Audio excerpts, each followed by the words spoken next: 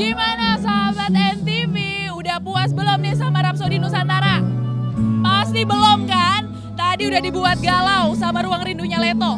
Terus nyanyi sore-sore di Prambanan bareng Kunto Aji. Pastinya makin malam kita maunya digoyang aja sama Rapsodi Nusantara. Let's ambiar together with Darboy Gang.